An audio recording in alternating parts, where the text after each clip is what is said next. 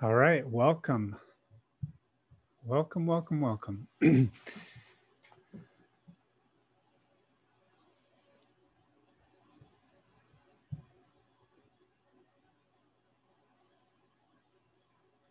All right, Jim, you're here. Great. I see your audio is connecting. It'll happen any second here.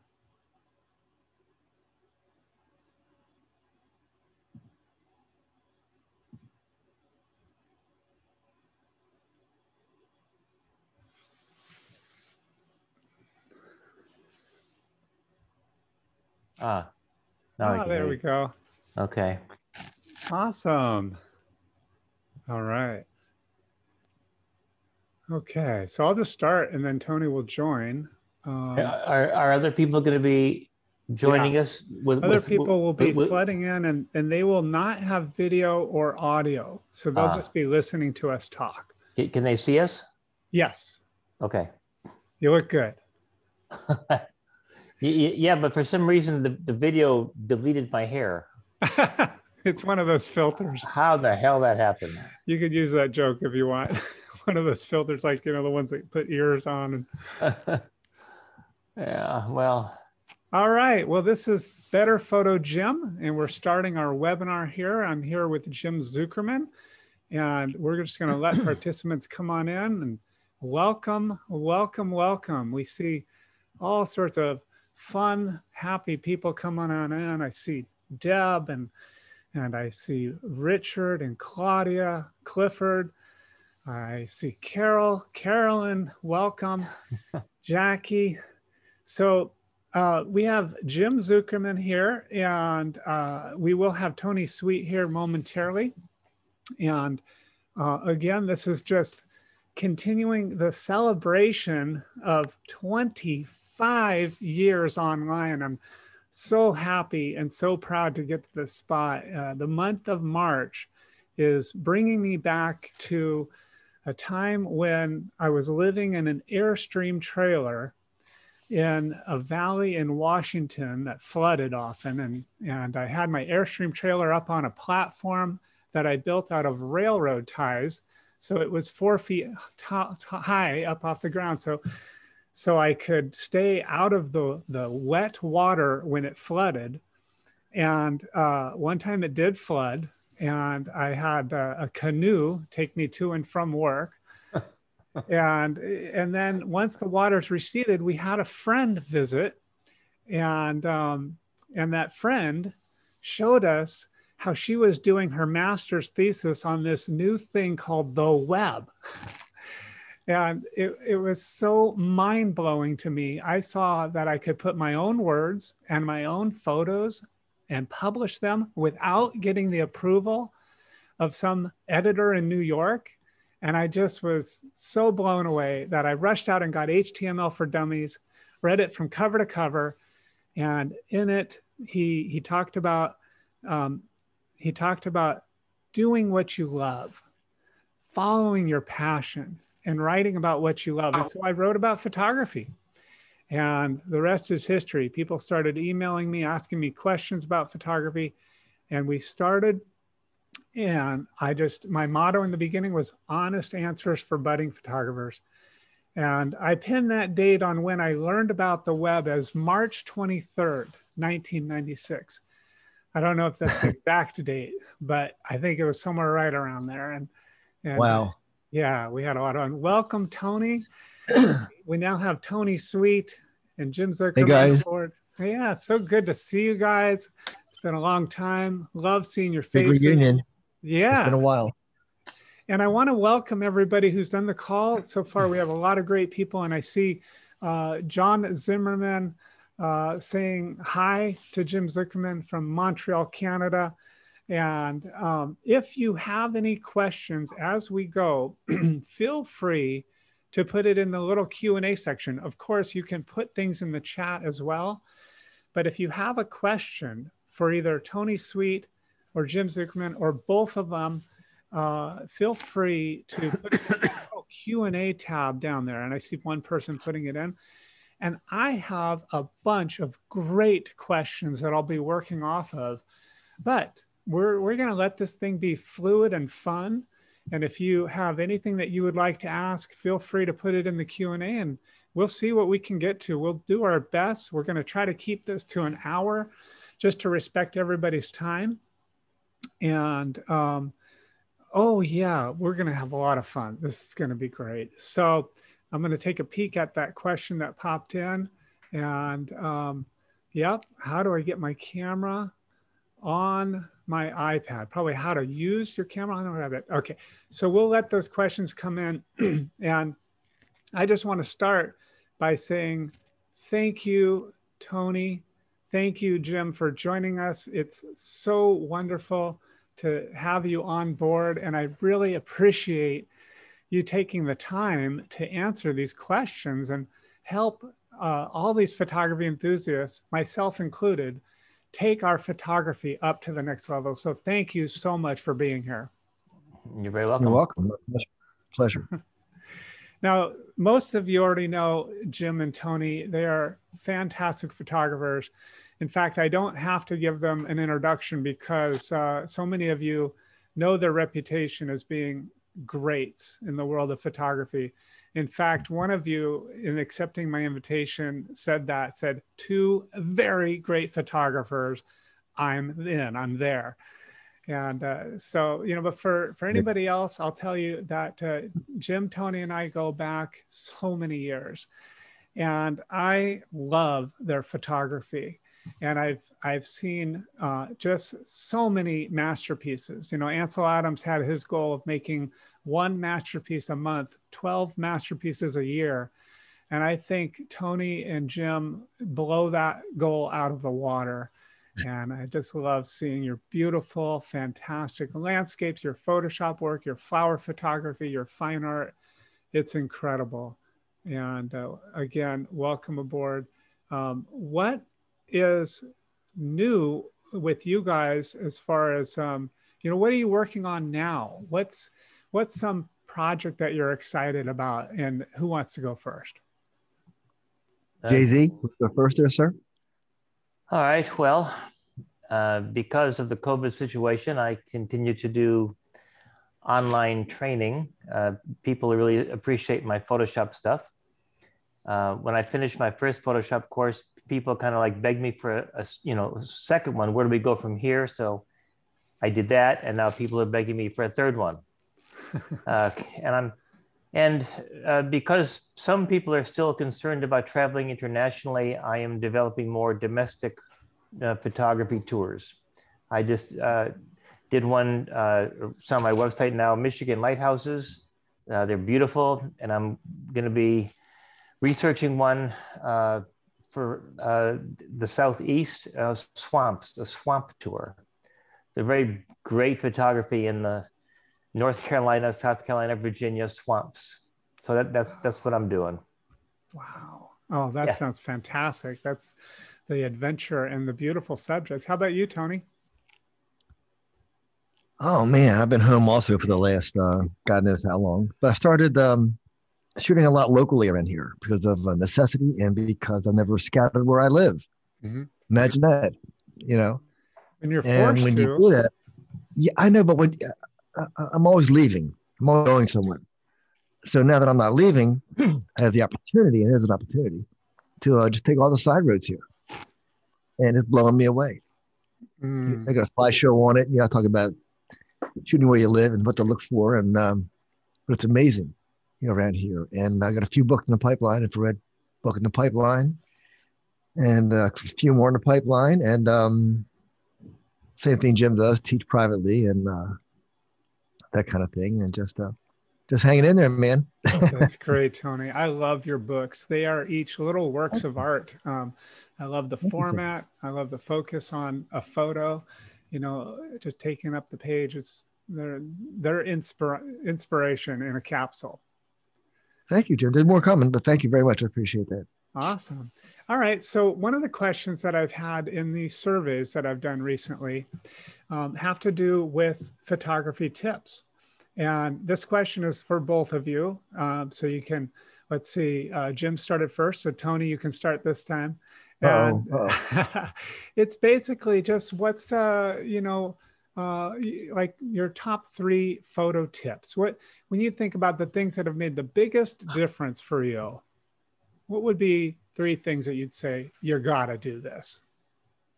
Well, you got to um, change perspectives. Number one, if, if you know if you're out shooting and you have the sense of you know how to use your camera and work in the field, Yeah. um, people tend to shoot at their own height. And the first thing I do is ask, how do I get up high and shoot down? Mm, And then always shoot from low, shoot, just change your perspective, you know, and, and, and do that. Um, don't quit your day job. Not yet. Not yet. Don't, don't quit your day job yet. not at this time. That's a good tip number two. Yeah. Be wise. And, and, and basically just to just immerse yourself. If you want to do this, immerse yourself in it. It's, all, it's everywhere. Like uh, Mm, books, PDFs, uh, YouTube stuff. It's everywhere. Whatever you want to know, or a lot of it, Yeah. is um, read, read about it. Yep. It's all in front of you. You just got to find it and read it. It's all there. Yep. And then when you're done- great. You take a you know, like learn what you can and take courses, but also take a, a location workshop where you're one on one with a professional, Yeah. and, and that's um that helps also. It all comes together. Yeah, it just all works um, together. But you need really personal interaction does. and you need to you know read books and watch videos. It's just all total Yeah. immersion. Yeah, there's so many inspiring photos out there alone, and that that could really just fill your your inspiration up and get you going. But I love what you said about taking a, an in-person workshop as soon as that's possible, as soon as that feels good for you, if you feel comfortable with it. Um, when you feel ready, you- you- yeah, when you you'll know when you feel ready. It's like exactly like I need I need something more. You know. Yeah. And that's it goes back to, you know, don't quit your day job. I love that too. I I remember one time I did quit my day job too soon. And I was so filled with the pressure to put bread on the table that my creative juices just dried up. So I, I think that, yeah, you, you need to listen to that little voice that says, okay, you know what? I'm actually having a revenue stream come in here and I don't um, I don't need to feel fearful. That's what it's what it's all about. Then you can still be super creative and and enjoy yourself as as you go. That's what we want. Photography is the joy There of photography. That's awesome. Thanks, Yeah. Tony. Okay. Jay Z, how about you? What are three photo tips that you would give somebody? Three things that that you must be doing. They just have made the biggest difference for you. Um, I have thought a lot about how to communicate what I know to students, how to have them really grasp uh, the fundamentals of photography and how to turn those fundamentals into art. If I can bring this down from three to one, I'd like to do that because the number one tip that I give anybody is and and it takes it takes beginning photographers and intermediate photographers a long time to get this. You don't capture what you see. Our eyes don't compress like a telephoto does. We never see an out of focus background ever. We don't look at a landscape with a wide angle lens on our face. So it's it it's difficult for people to grasp in the beginning that you have to what, what the way i say it is you have to think as the lens sees. In other words you have to look at a landscape mentally through a wide angle or through a telephoto because that's what you're going to capture. So many times i've heard people say i just didn't capture what i saw. Well the truth is you don't ever You And- never do. You never do. So you have to think as a as a wide angle sees, and you have to think as a telephoto sees, and as a macro lens sees, and even if you if you have a fisheye, as a fisheye sees. So mm-hmm. that that that switch that you have to turn it in your brain goes from here's what I see but here's what I can capture with my lenses. That's that's the number one challenge and tip that I would offer. Mm, that's great. That's a three in one for sure.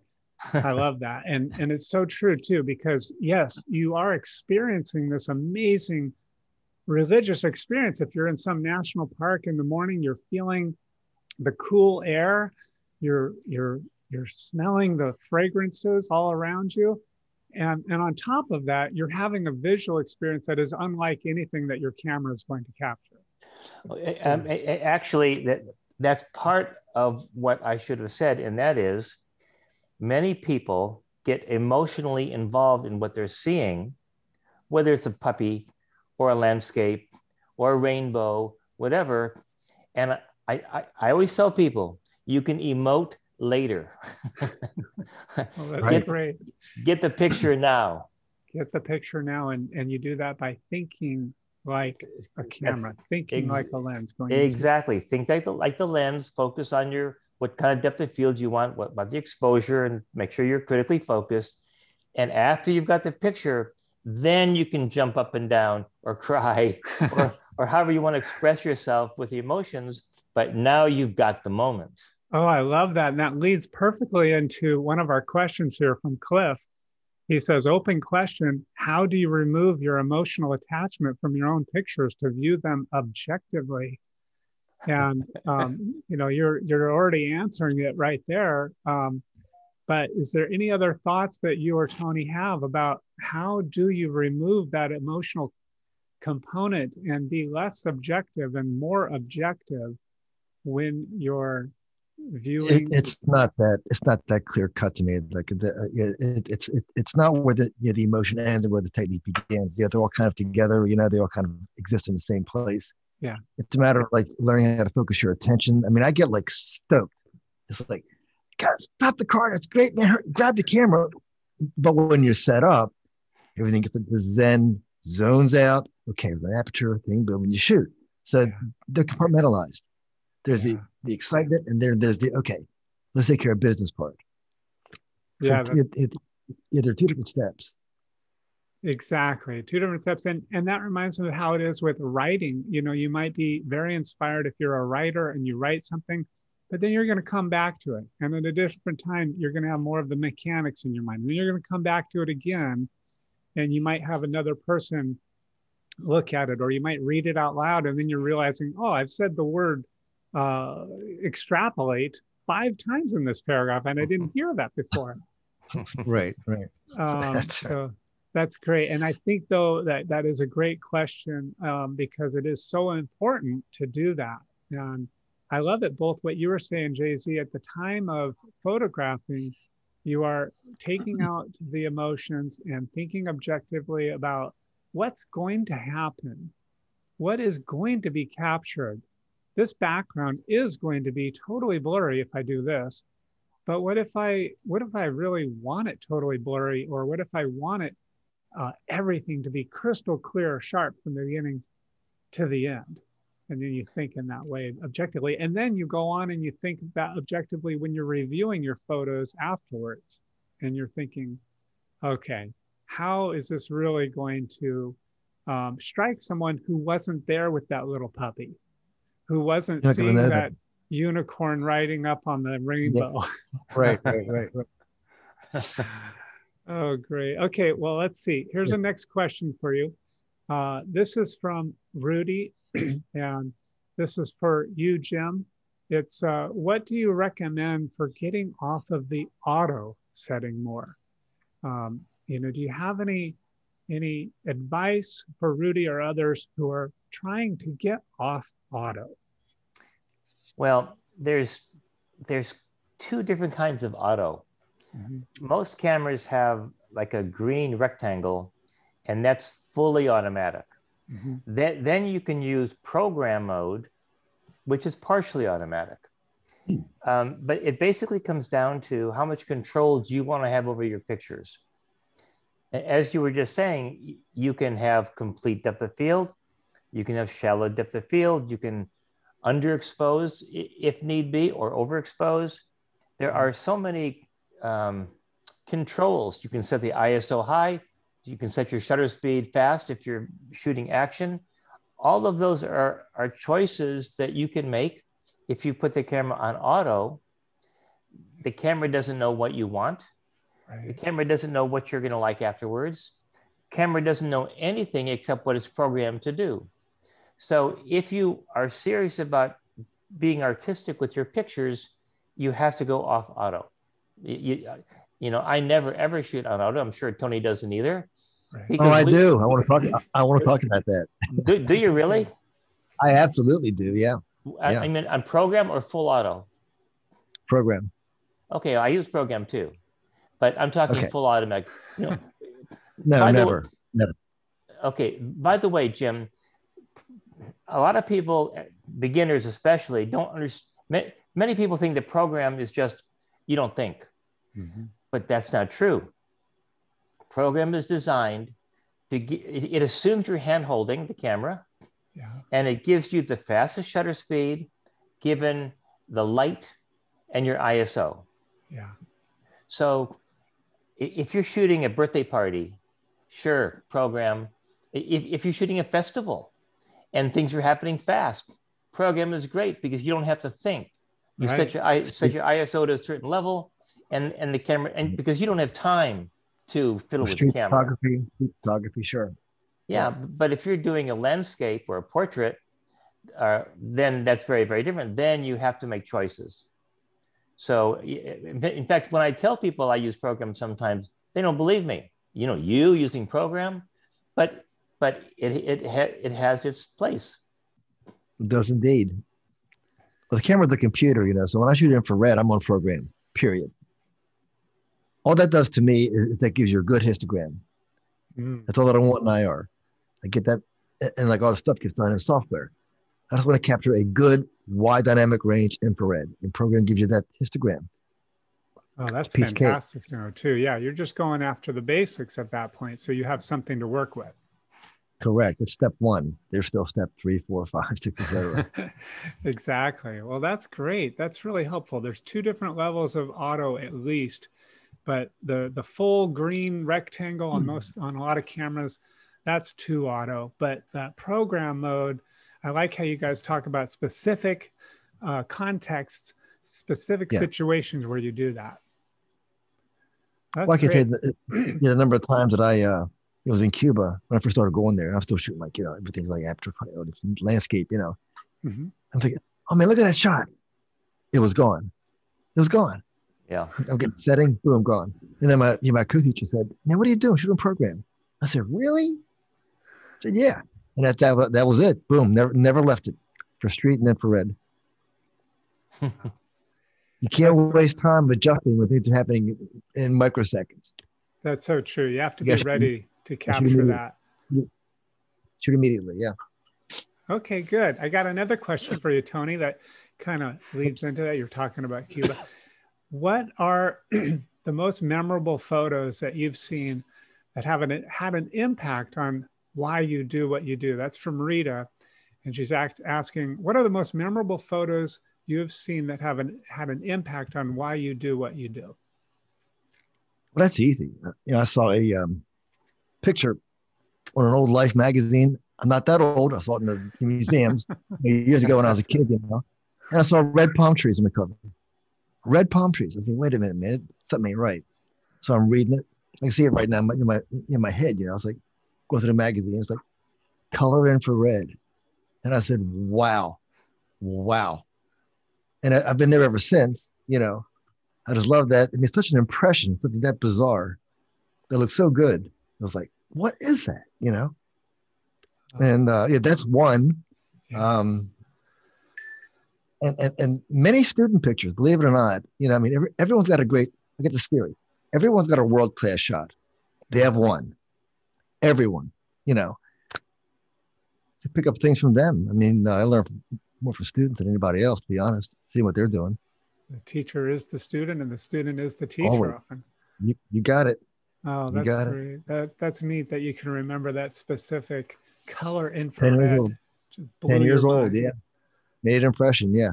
I love that. How old were you, say? 10. 10. Wow, that's cool. In the cloakroom, my fourth grade classroom. Yeah. Oh, that's neat. That's awesome. All right, Jim. Jackie asks If I were interested in starting a photography business, what would be your top three or your top one recommendation for success? well, I would first try to talk Jackie out of it. um, you, you know, there's there's always room in every business for a person who is motivated, highly motivated, um, persistent, uh, doesn't understand the word no, and they just you know forge ahead. And if they if they if they have a business head, they can succeed. And there are many, many types of photography businesses. Um, but the photography business has changed radically in the past 10 years. Um, if this were 10 years ago, 12 years ago, I would say the very first thing is, is join a stock photo agency because, because they were a viable source of income. Not now um, you know, I'd, I'd, have to know really what kind of things she likes to photograph, but most people like photographing nature, landscapes, and animals and stuff like that. Mm-hmm. I mean, uh, you know, a few, a few others will tell me, well, I like street photography or I like portraits or studio photography, but most people want to do what I do uh, nature and travel. And as far as I can tell, the the only way to make money today, and I'm talking serious money. I mean, if if Jackie joined a stock, let's say three stock photo agencies today, Alamy and uh, and a couple others I could name, she could, she, she could make a little money, a few thousand dollars a year. Not, not enough to, to, to support her. Um, but the only viable route that I can see, and you know, maybe Tony has some other thoughts, but is is workshops, tours, and and online teaching. Um, but but especially photography tours. Mm-hmm. Uh, that's why so many people are doing it, mm-hmm. Be, because all the stock photographers who are making a living that way either retired, went into another business, or, or began leading tours. It's true. Um, you, you know, it, like I said, there's always room for an entrepreneur. For, for example, uh, about, um, about 12, 13, 14 years ago, there was, there was a guy who was buying pictures from me and, and he sold large uh, prints that he actually ha- had made printed in China. He'd bring them over by the container full. There were like 1,600 prints per container. And he sold to 800 furniture stores across the country. Wow. So there is, it's just one little way to make money if you can get into that niche. Mm-hmm. It, here, here's another idea I've had. And I had this idea, but I've never pursued it. So, so Jackie, this is all yours if you want it. um, if, if you go to big art houses, paintings bring, bring more money than photographs because there's just an in, intrinsic value to paintings that photography doesn't have. So why can't you send a digital file to China and have it painted in oil or acrylic on any size you want? And, and you tell them, don't sign it you sign it when it comes back to the US. And now you have an original oil by Jackie. Original so, oil. So now, now you can market oils to the art market that are originals. I thought that was a good idea, but it's a great idea.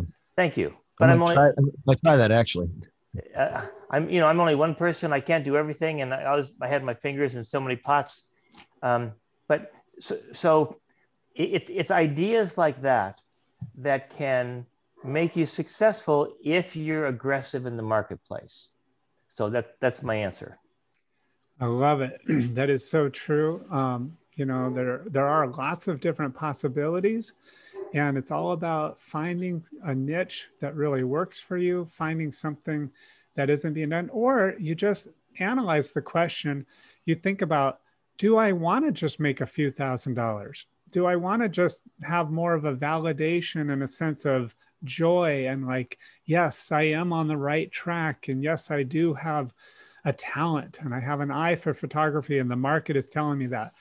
But if if you really need to put bread on the table, then um, you either have to be Don't quit- don't quit entrepreneurial. your day some- job. Yeah, and don't Don't quit quit your your- day job. Exactly. Um, Jim, Jim, let me mention one other thing. Uh-huh. Um, when I first started selling my work, uh, this was, well, a very long time ago. In fact, uh, you mentioned earlier that we go back years. Um, you know the the fa- the famous uh, Civil War photographer Mathew Brady. He was one of my students. Yeah, he, was, he was one of my students. So a long time My first camera.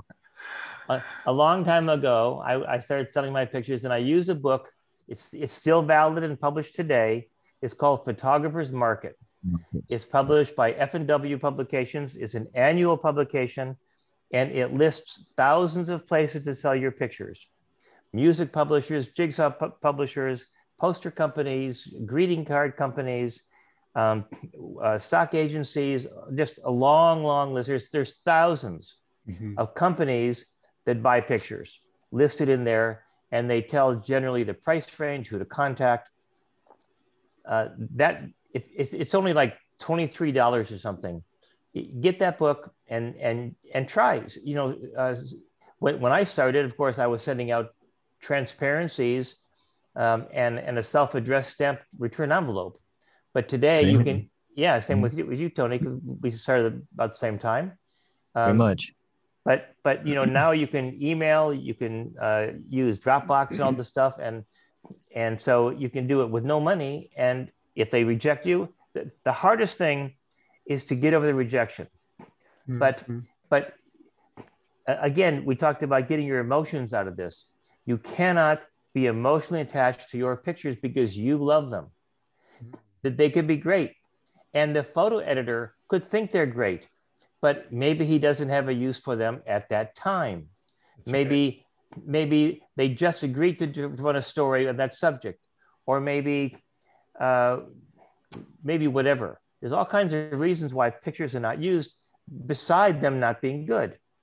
So Yeah. so every rejection you get you just you just turn around and package that up to a different magazine or or Exactly. jigsaw puzzle company and you send it out again you you you cannot let rejection hurt you at all or else you're doomed That's right. That is so right. You know, I was just reading about Walt Disney, and I can't remember whether it was Bambi or Fantasia, but whatever it was, it was meant to to be released in December of 1941, and um, it was going to actually go on the cover of Time magazine, is what it was, but it got bumped by some other historical event. So it wasn't a matter of Walt Disney getting rejected by Time magazine the editor just said there's no way we can talk about animation at this time it's, when when, it's- That'd when, when, that'd have been- when Pearl Harbor just happened. right World War II, yeah. Yeah. yeah that's right well we're talking with jim zuckerman and tony sweet and we're answering questions from better photo members and if you're just joining us now we're having a great time learning all about the art and and the the, the business of photography as well and we have Don't forget some- fun. Yeah, we have some great questions. I have one other question from Jackie that that I really love, and let's start with you, Tony, on this one. What has been the greatest contribution to your success as a photographer? I, I love that question. And what what what do you think of when you think of what has been the greatest contribution to your success? Oh, the same with that with uh, any other business. You got to be. Uh, they've got to. First of all, being good is a given. That's a given. Set that aside. Set that Yeah. aside. They've got to like you. You got to be dependable. You can't complain if they want something today. Get it to them today. If you can't say you can't do it, tell them the truth, and be uh, dependable and, and be uh, reliable and do good work and follow up just human traits, Mm. like any other business. Any other, it's a business like any other business. If anything Yeah. succeeds That's in like all business, they've got to like you. They got to enjoy dealing with you. you. You can't be a pain. It's just simple. It's Yeah. simple stuff. I love that. And I, your first comment about being good, just putting that aside, you remind me of Steve Martin. I, I love one time he said, You know, everybody's always asking me, How do I get an agent? How do I get discovered? And he said, That's not the question you should be asking. The first question you'd be asking is, Am I good? How Yeah, can I get better? That's exactly right. That's the basics. And then from there, it goes to uh, things like persistence and and being likable, having having good person interpersonal skills. Those are some of the basics. How about you, Jim? How would you answer that question? What has been the greatest factor um, that has contributed to your success as a photographer? Uh, two things. First, um, divorcing myself from my pictures emotionally and seeing them as a product. Hmm. If if this e- photo editor or publication company didn't want my pictures, I there was no feelings of rejection at all. I, that took me years to get there. Um, Hmm. and the second thing was uh, joining a stock photo agency. Mm. That that freed me up so that I had a steady income, and then I could diversify from there. That, that I, I joined a stock photo agency in '87, and that comple- Wow. Wow. that completely changed my, my career. Different world back then, Very, yeah. night and day. Mm, it is. It is a different world. So that worked for you at that time. It really gave you that steady stream of income, and it might be different um, right now. Well, we, we have another question coming in, and uh, this is from D, and it, it just ties exactly in with what I was just thinking about. D asks, What motivates you to keep producing quality photos? you know and another another way to say that came in from susan beforehand what techniques do you use to keep motivated and to stretch your imagination and keep photography fresh who would like to take that one what what motivates you and what what keeps your photography fresh and keeps you stretching your imagination tony Well, I can jump. I can jump in here, sure. Um, well, I'm passionate about it. Number one, I mean, I I, I love as much as much uh, today as I did when I first, when I first picked the camera up. It hasn't changed at all. My enthusiasm has gotten greater over the last uh, 35 years. That's a long time.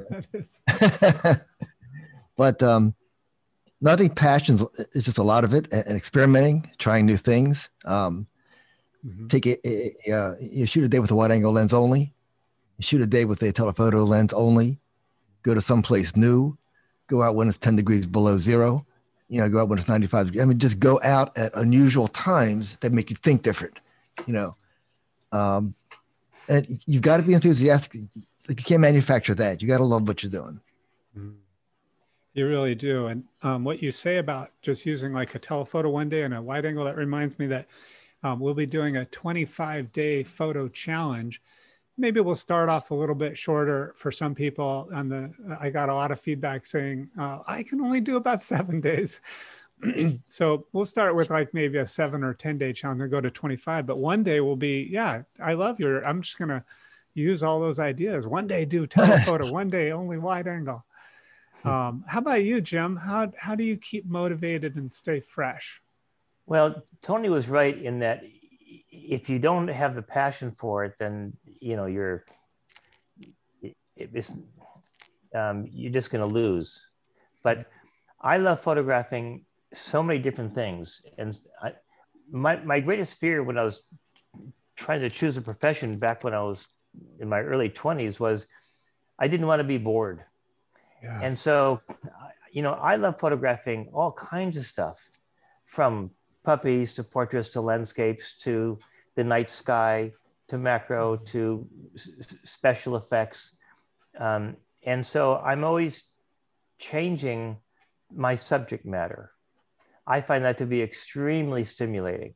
And that's why I love to travel so much because Travel photography encompasses every aspect of photography there is. You know, um, huge interiors like cathedrals and festivals where people are dancing and moving. And then, then you have macro and you have wildlife. It, it's everything. Mm-hmm. And so I'm constantly visually stimulated. And I, I love that. Uh, um, I, I'm sure there are photographers who photograph the diversity that I do, but I don't know any. Mm. so me neither, Jim. Me neither. Oh well. You don't know well, anybody else other than Jim or yourself, Tony. oh no, I'm not even that class. Jim does uh, more than anybody I know. I, oh. I, I, I mean, Jim, you know, I, I I do dinosaurs and I do nudes. you do, I know you. but do you do do you do I mean, do you do nude dinosaurs? I, I, I, haven't done one of those yet, but but it's a good idea. Got to keep fresh. yes. All right, I have another question that is from Eric, and Eric says, more and more I find myself going to my iPhone to take a shot.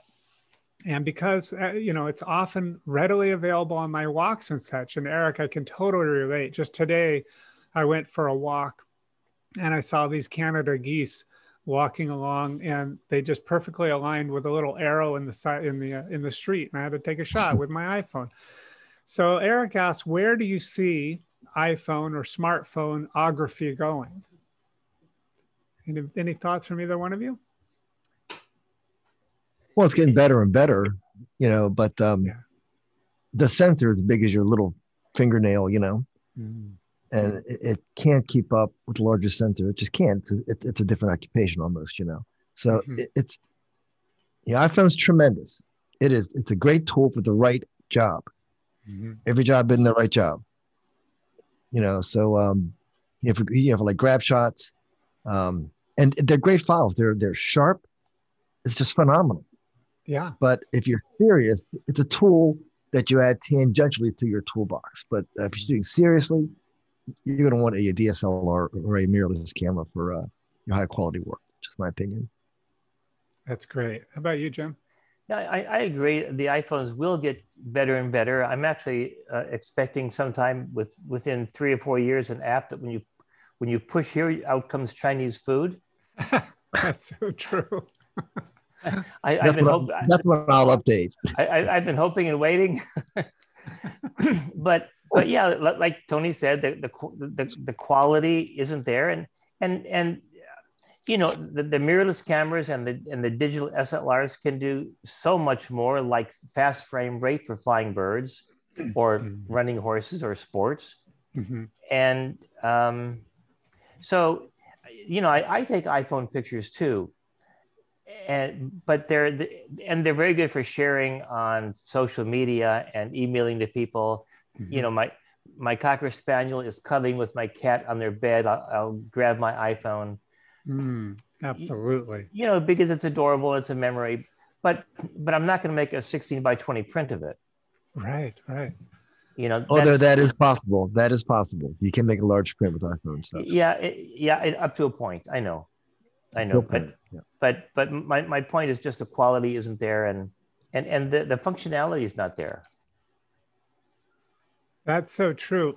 I just recently upgraded to the iPhone 12 Pro, and uh, and I really really do enjoy it.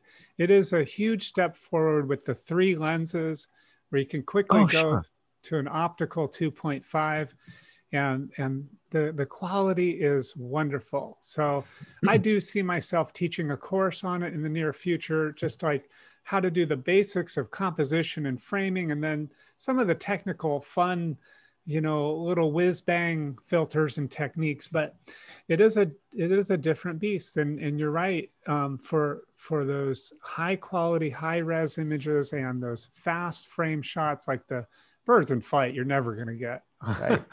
Right on that. Right. So, but you're right. It is good for those other things. And that brings me back to the business question. If you really are serious about going for it in the business, uh, content marketing is c- continues to be king. So if you do see your cocker spaniel and your cat cuddling, that would make a great quick post to Instagram or Twitter. Um, and and, and stock. You, exactly. So yeah, you, you definitely can do what you do. So thank you for asking that, Eric. I really appreciate it. And uh, and I, I think that we're all wondering that there is massive amounts of technological change and there's no doubt that uh, you know steve jobs said he wanted to make a dent in the universe there's no doubt that he made a dent in the photography universe because oh, it yeah. has completely changed the landscape for us photographers um, and you know i know that many service photographers jim you were talking earlier about there are different ways you can get into the business and you're talking that most people want to be uh, photographing nature and landscapes and um, maybe doing studio work but but uh, there's also that element of being a service photographer in the sense of photographing portraits and weddings. That is, is a great way to make a living if that fits your personality type um, but many of those photographers are telling me that they're very frustrated at how many people are just taking pictures with their smartphones while that's they're right. trying to get professional work done. That's right. That, that's that's been a problem since uh, since a lot of wedding photographer friends. Yeah, a, a, a, a, lot of wedding shooter friends, and, and, and their competition is is handing out like uh, these free cameras on tables. You know, and all the guests take pictures. You know, these yeah. free little box cameras. You know, with this built-in lens. You know, like a and they're handing those out to people, and they're and they're doing shooting the wedding. You know, other friends, uh, they just shoot uh, and give them a disc, give them a flat fee, and, and give them give them a CD or whatever it is, files, and they can do it and do what they want with them. You know. Yeah. But that's changed radically, also. You know, radically. You know. Yeah. Hey Tony, I got a different question for you. um, uh, what photo editing software you know, would you recommend for the absolute beginner? And then I'll ask this of Jim as well. What, you know, what what do you guys recommend when it comes to that side of photography when you're you've taken the shot and you really love it enough to put some uh, investment into enhancing it? Well, the Photos app on uh, the Mac is good for just starting out. You know, um, Elements if you want to get a little more advanced, that, that's kind of uh, the easier part of Photoshop. And of course, um, if you're serious, Photoshop and Lightroom is kind of where you want to wind up eventually. But yeah, um, yeah photos are good. A little tweaking here and there, and put it up online. Sure. Do you do the uh, the Creative Suite, the uh, monthly with Adobe for the you know the you, kind of locked into that, yeah. Yeah, you kind of locked into that. If you want it's to our only choice are, now. Yeah, unless you want to use Affinity Pro, which is awfully good, and that's Affinity? not a subscription. Okay. But then you're off the uh, you're off the Adobe cycle of like this, you know, these updating apps and all the integrated stuff. So you, you get out of that thing. But um, yeah, yeah, Affinity is a, it, it's like uh, it's great. Good to know. It's just not Adobe. Yeah, yeah, it's very good. How about you, Jim?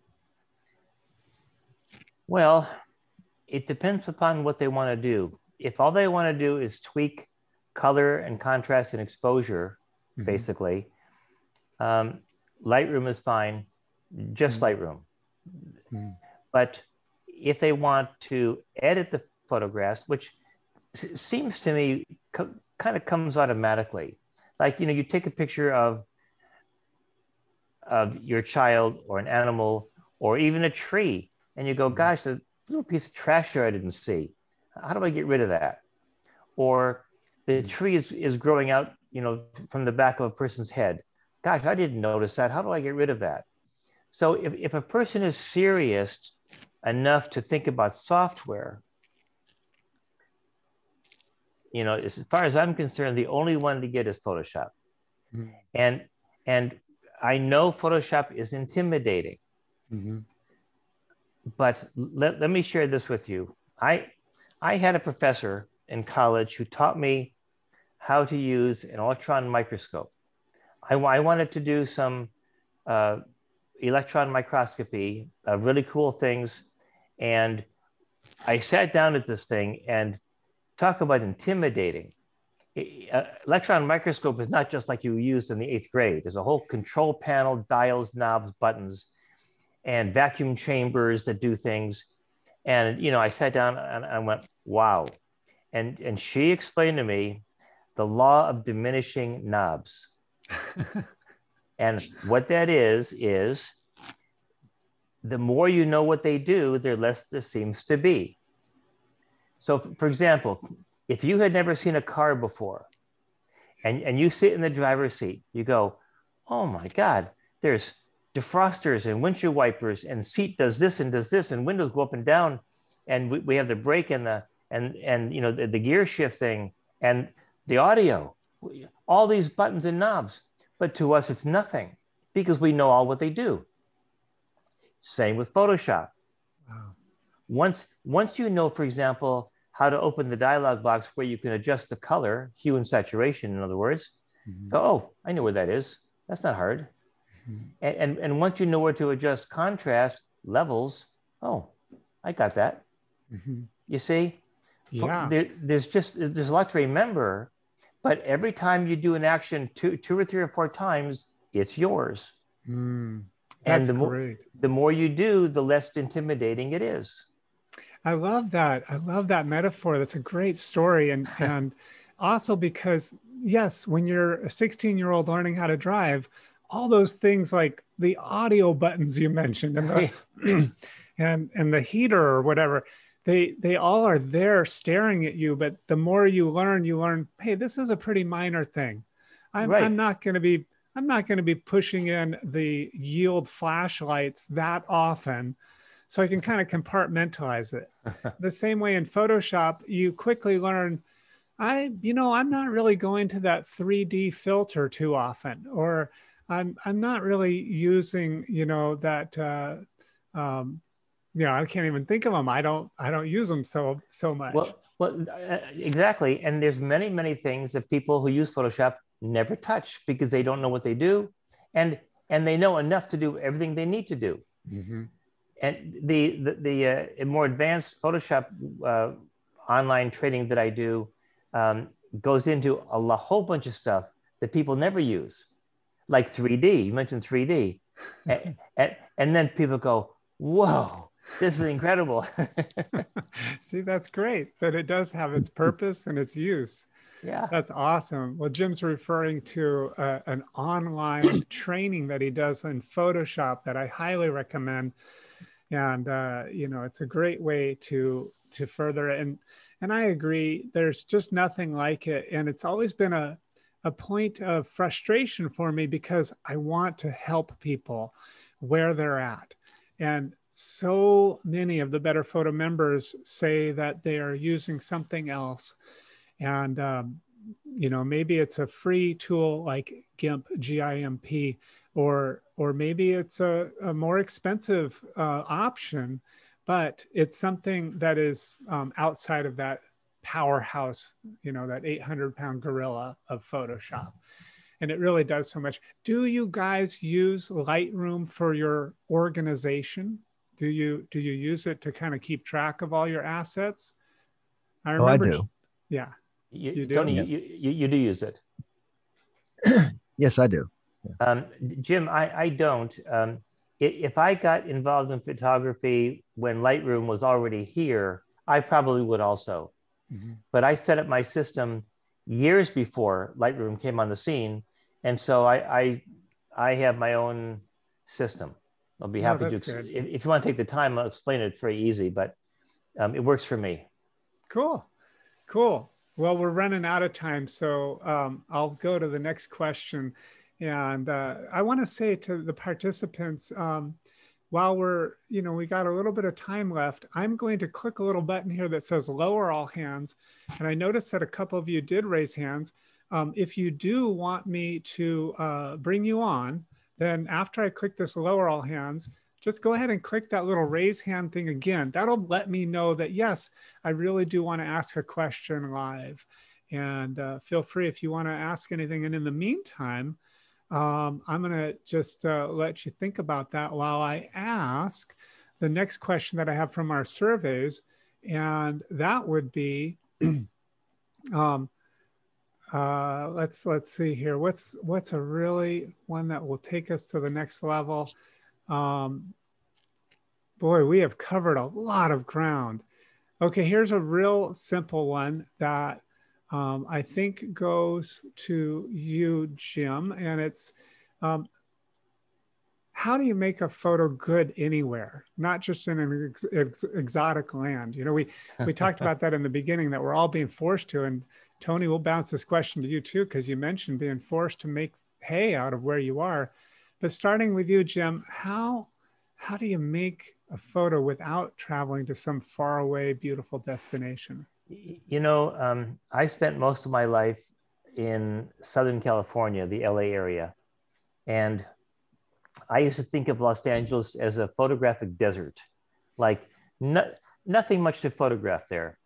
But it, I, I, I have a friend there, and as soon as I left, he started coming up with all kinds of amazing things to photograph in the LA area.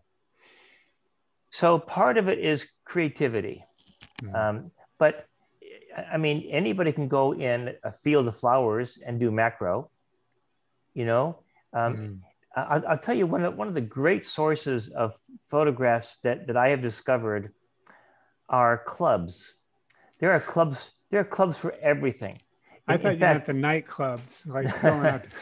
no, no. Um, w- one thing I did do in LA, in uh, like the middle '80s, I was looking at my photographic collection. I thought, gee, I don't have any reptiles, or very, very few. So I put my thinking cap on and I called the Natural History Museum and I said, Are there any reptile groups or clubs in the LA area? And I, I talked to the herpetology department and he said, Yeah, there's one in Reseda. Well, that was 10 minutes from where I lived. So I went to the meeting, I met people, and I got I got access to snakes and geckos and iguanas and all kinds of stuff. So if, if you really love flowers, especially in big cities, there are, there are clubs for orchids and irises, exotic irises. I've seen them. Um, classic car meets. There, there's all kinds of things to photograph in your area. If, if you live along the Atlantic coast, um, they have tall ship get togethers several times all summer long. Um, and, you know, so if, if you expand what you like to photograph, there's just m- abandoned buildings. I, I just found out, in fact, I, am trying to, this is another, another one of my domestic tours I'm trying to organize. I just found out that Gary, Indiana has thousands, oh, yeah. thousands of abandoned buildings. Mm-hmm. And, and so, you know, you, you can get permission to go in them and photograph these old factories or theaters or mansions. And it's, it's great. So it's it's really a matter of putting your thinking cap on and trying to be as diverse as you possibly can. Uh, you know, if you like photographing fish, go to an aquarium store, and you know, ask the owner, "Can I take some pictures of your fish?" And so, you know, you, you got to be creative. I love that. I remember uh, there were many times when I would just go to people who had antique shores to say, hey, you know, would you mind if I just take pictures of these interesting objects? Yes, good idea. You'd be like, yeah, sure, go ahead. And then you get a lot of great photos of old telephones and fun things that you can use as ingredients in your your composites. Like I know that you do that a lot, Jim Zuckerman. So yeah. How about you, Tony? What do you do to make it alive right outside your door? Well, I basically started doing a uh, study where I lived 25 years ago and I do a show based on that. But it's just um, learning how to um, scout and photograph where you live. It's, it's not just driving around. You have to know where to go when. I go to the same spot all four seasons. If I like oh, a scene, yeah. take note of the sunrise. I mean, that's a great project always. Mm. The same shot in all four seasons. You know, can never miss. You know. And just uh, people don't know where they live. Like I've driven past roads for years on the way out of town that I finally took nine months ago. And it was like oh, Barnes is like, where am I? You know, it's like, it's incredible. You know, there's a small little gorge behind the reservoir. It's like, what is this? You know, had no idea. Had no idea. No one takes all the roads where they live. Just drive around, man. Drive around. You know, it's amazing. It was, it was, you know, what the Jim, you know, what the Jim said, Jay Z is, of course, you know, you know, the club thing is, you know, there's car clubs here. There's a ton of stuff to photograph. I love that tip. Yeah, I love that tip about clubs because it's true. There are different groups for every activity. And Um, Sure. My family moved from the West Coast out to St. Louis, and um, I had that same feeling that you had, Jim, about Los Angeles. That you know, it just wasn't my favorite photographically, but I've been finding things. You know, there, and like you said, I love that tip about connecting with meetups or groups, uh, clubs, uh, just finding the things that other people are really passionate about and having that creative flexibility to go, well, you know, I'm not a car guy, but I can see the beauty here. I Yes. can see the lines. And But why not be a car guy? Why not be a car person if it ex- you know, yeah, it expands. It's all composition. It's all light. You can find great light anywhere, Mhm. anywhere. I mean, I've got so numbers of slides of, of like you know, you know, terrible light in, in Capitol Reef, and there's bad light everywhere. You know, there's great light everywhere. You know, it, and the, it- it's a pretty cool to like you know, you know, drive five minutes and then get a world class sunset shot, and then drive home five minutes. Something very cool about that. Yeah. that is very cool. Um, I'll take one question here from John. He asked, uh, Why did you create BetterPhoto? and I said that at the beginning of this call. It was because I was inspired by the idea of publishing, which is totally different, a to- totally new landscape now that doesn't have the same meaning that it had in 1996. But he asked also, Where will BetterPhoto be in five years? And it's really simple, John bigger and better. Um, it's all about growth and progress. Growth makes, makes you That's easy. happy. Yeah. um, here's a here's a question for you while we wrap this up. Um, when you're photographing so much, do you begin to see life around you through a lens in a way? Do you, you know, is it like when I was a waiter, I would I would go home and I couldn't stop thinking about waiting tables. I when I was a server, I couldn't stop thinking and I would have nightmares. I would wake up in cold sweats in the middle of the night because I hadn't given that person coffee. And it's been like seven hours they're waiting for their coffee. so that was when I was serving tables back when I was a teenager. But um, do you find that for yourself now? Do you do you see life almost through a lens, and is it okay? Yes and yes. I, I would. I, I would say the same thing. Yes and yes. That's great. Well, um, we'll wrap it up here because I do want to respect your time. Um, there was one other question here from uh, Beatrice. Is there any thought to bring back Jay Z and Tony S? So I'm just going to say, hmm, hmm, that's an interesting idea. Not a bad idea. and um, I do want to just say thank you guys so much for giving us an hour of your time and answering these questions. And let's hope that this is one of many times. I, for one, had a wonderful time, and and I know that others are saying thank you, thank you, thank you. There's just uh, so much appreciation for you guys because not only you, did you do it, you did it, you know, and we're looking at you going, you did it, and and there there's a saying yeah with about photography. There's a saying when you find someone who has done it you want to mimic model and master. You want to mimic mimic model and master what they do. So that's what you've given us tonight and it's an, an incredible gift. So uh, thank you so much. It's an honor to speak with you and I, I look forward to talking with you many many many times in the future and uh, yeah Look forward to it, Jim. It's it's, uh, it, it's my pleasure. Thank you very much. Yes, Great. thank you. Thank you for asking me, Jim. It's been a pleasure. Oh, absolutely. I'm so glad to It's been great to seeing you guys. Been a, it's been quite a while. it's been quite a while. So I appreciate your spontaneity and just uh, jumping for it when when the opportunity came up. And I'm I'm just so glad about that. Yeah. it, it just goes to show that, you know, time is relative and all that really matters is the present moment. And and I'll I'll I'll Ultimately, end- yeah. Yeah. I'll end with the same thing. I remember one time when we did a BetterPhoto Summit, I just uh, was it just came out of my mouth before I knew it. I just ended the summit saying, "I love you," and I love you guys. So thank you so Oh, yeah, much. love, love you back, man. Thank you, Jim. Thank All you, right. Jim. You guys have a great night. Thanks again. Uh-huh. Take care, Jay Z. Bye, You everybody. too, you too, Tony. Thank you, man. See you later.